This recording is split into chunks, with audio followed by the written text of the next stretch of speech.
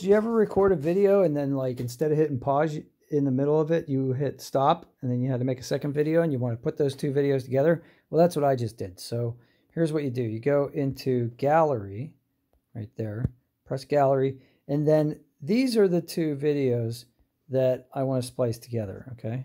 So um, the most recent video is in the that I took is in the first position. But that's the video I want at the end of this of this video, right?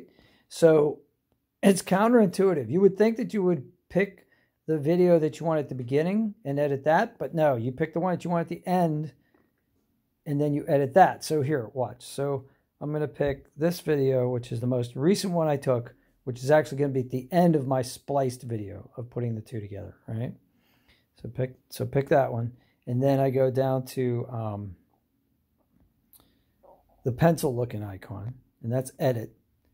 And once I do that, up here in the top right hand corner of the screen is this little kind of marker. It looks like one of those old timey, um, you know, when they were shooting films, they have like this little board and they go click, you know, rolling, that kind of thing. So pick that, and then you're going to add a video. So I'm going to add the second video, the video in the second position, which is actually the lead in, the, the video that I want to, to, to, uh, to be at the front of the second video when they're spliced together. So pick that one.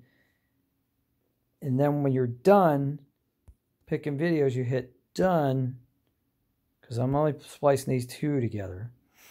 And then here you can preview it so that you know you've got the right one in the right position. And I know I do because of the time signature as well. So you can play it or you can look at the time signature.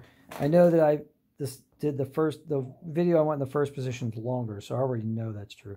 So when you when you're satisfied that you got the videos in the right position, just hit save right here. Save. And then the video starts to save and then it'll be in your gallery in the first position, and it looks like this is going to take some time. So probably not going to have time to talk through all this. So smash like for me if this video helps you, because um, for me, I always get them mixed up. I always get them confused. And uh, put comments down below if you want to see a different video, you want to see something different, or or have a question. Uh, ask me because then I learn. If I don't know the answer, I'll go out and I'll figure it out, and then I'll and I'll be able to explain it to you hopefully. And that's when you know you know something when you can explain it to somebody else.